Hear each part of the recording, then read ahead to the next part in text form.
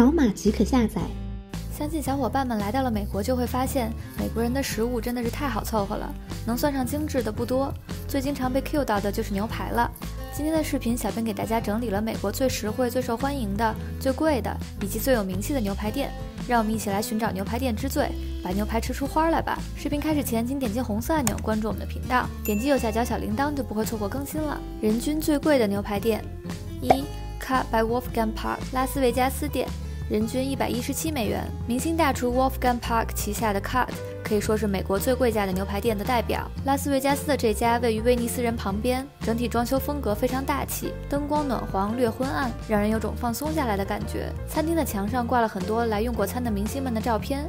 小编觉得和咱们中国餐厅经常放的明星合照是差不多的意思。除了明星的光临和明星主厨的加持，他家用的牛肉也都是美国最顶级的，而且还有专门从日本进口来的顶级和牛，牛肉的品质有保障了，味道就不会太差。TripAdvisor 的用户这么写道：“我对牛排非常挑剔，只吃瘦肉的部分。Cut 的菲力牛排完全没有让我失望，感觉烹制的刚好，瘦肉在嘴里也有种融化了的感觉，必点推荐。”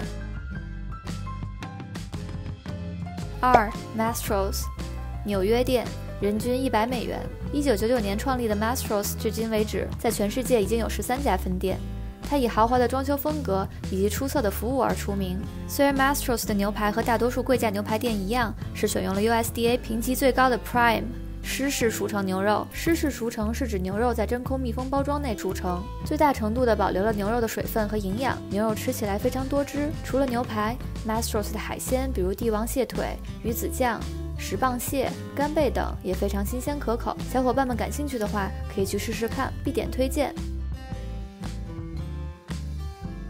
最受欢迎又实惠的牛排店，一 Texas Roadhouse。还记得 Diomen TV 之前发布的五家口碑牛排店的视频吗？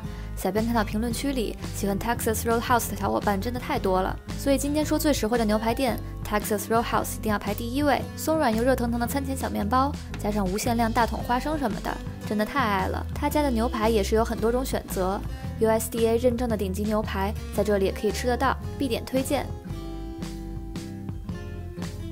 二 Ruth's Chris 这家店的装潢风格比 Texas Roadhouse 要显得高大上多了。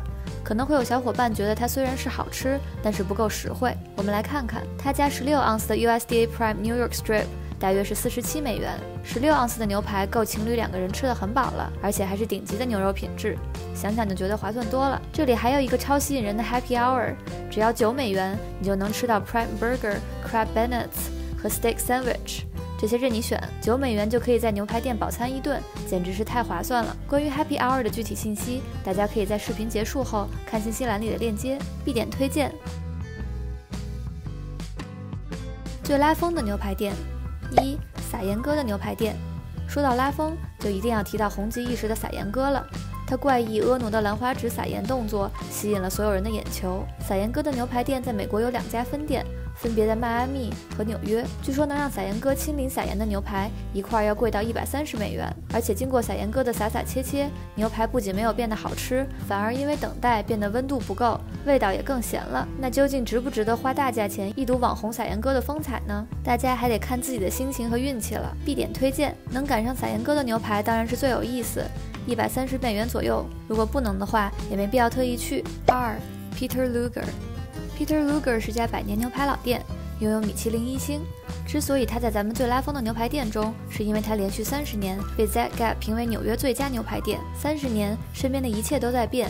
唯有 Peter Luger 牛排品质没有变。由于他家实在是太太太出名了，所以真的很难订到位置。建议想要去的小伙伴们提前一周就要电话预约，不然可能真的连门都进不去。Peter Luger 的招牌不仅仅是牛排，好多博主都在推荐他家的厚切培根，热腾腾的厚培根外酥里嫩，脆脆的外壳再配上软软的肉油，真的是味蕾的享受，必点推荐。好了。以上就是小编为大家整理的美国牛排店之最。如果正好有你所在的城市的牛排店，不妨去尝尝看，和大家分享你的体验。你吃过的最好吃的或者最拉风的牛排店是什么呢？推荐吗？欢迎在评论区里留言和我们分享。